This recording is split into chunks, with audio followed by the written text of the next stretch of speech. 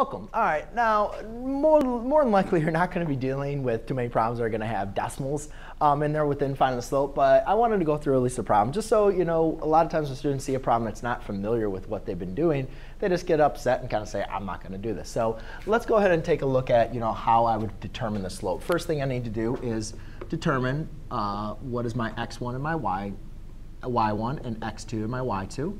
So therefore, I'm just going to label my points x and y and then plot in x1, y1, x2, y2. And the reason why I do that, because our slope formula is the change in y over the change in x.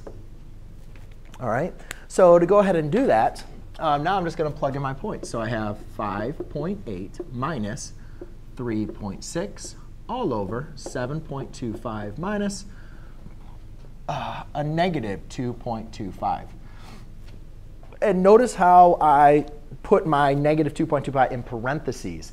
Um, that's just making me say that it's 7.25 minus, because remember it's always the change in x minus, or, or x2 minus x1. So it's x2 minus x1. Um, so now I just go ahead and subtract across, and you can see 5.8 minus 3.6. That is going to be 2.2. And now you can see that's a double negative. I make that positive, so that'll be 9.50. And there you go, ladies and gentlemen. That is going to be your slope between these two coordinate points. Thanks.